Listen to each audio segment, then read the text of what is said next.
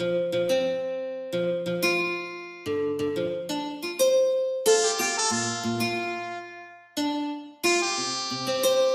why the the phrase I love Nairobi?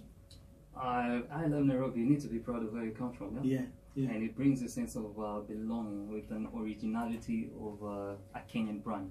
Why why why why why should you be in Nairobi rocking I love New York and you're not from New Yeah. York? And maybe you don't even have a You've passport. never, you've never been there. Yeah? So are we gonna see I love Narok for the Narok So uh, residents? uh, apparently, I have uh, eight counties. Which one? Which one? And which one? I love Nairobi. I love Mombasa. I love Kisumu. I love Machakos.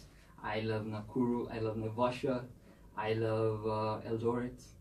I love the last one. Let me think of it. I've forgotten. No, nowhere in Central. No in Central. Western? nah.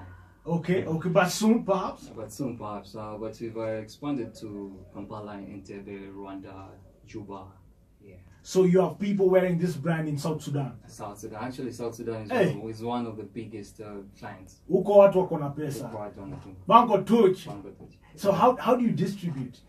Um, we do worldwide shipping. We do. Uh, we ship everywhere from your location. You can just uh, request. You have uh, an online platform where you can request. You can. What's the Yes. online platform? Tell us a bit. Uh, on Facebook it's Duchi Lifestyle. It's Duchi, but uh, it's www.fb.com slash Duchi Lifestyle. Okay, On Twitter is Duchi Lifestyle. On Instagram is Duchi Lifestyle. Duchi is D U C H I okay. Lifestyle. So you charge the person buying it maybe that fee to ship, Yes. shipping fee, like they do in the states anyway. If you're buying J's You online footlocker.com, you gotta pay. Yeah. Ndio zilanda hapa. Yeah. Hey, that's what's up.